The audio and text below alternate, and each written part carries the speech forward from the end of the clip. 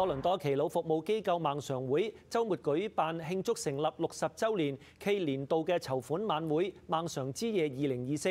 近千名嘉賓，包括咗安省省督、三級政府官員、社區同埋商界代表出席支持。我哋咧對於誒誒多倫多嗰個社區咧，你哋咁多年俾我哋六十年嘅支持，我哋十分多謝。希望你哋繼續繼往開來，再繼續支持下去。我知道孟上安老院而家係起緊誒老人家嘅安老院㗎，咁我哋今晚喺度咧就係、亦都支持佢哋嘅籌款活動。誒、除咗係感激佢哋咁多年嘅誒，即係代係為耆老服務。晚會今年嘅主題係 Shining Sixty Years and Beyond。孟常會自一九六四年創立以嚟，始終堅持為大多倫多地區華裔長者謀福利。至今有四間長期護理中心正在營運，一共提供七百七十七張床位。